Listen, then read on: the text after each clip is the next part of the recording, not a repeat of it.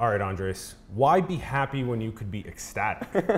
That's a great question. I mean, I, I, do think that we have a lot of cultural hangups uh, about like very positive states of consciousness. You can definitely see that in the context of, you know, we kind of like talk around the edges when it comes to things such as, you know, the pleasure of orgasm or, or even like heightened states of consciousness like, like meditation.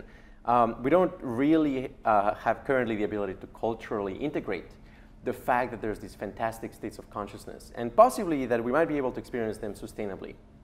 In some sense, we got, as a society, we get off on signaling our misery. Uh, we, we show off like to others just how committed we are to a cause by showing just how distressed we are about it. But I think like we, we may very well be on the brink of a paradigm shift when it comes to really embracing and not feeling guilty about being in ecstatic, ecstatic states of consciousness sustainable ecstatic states of consciousness. And culturally integrated. And culturally integrated. Whoa.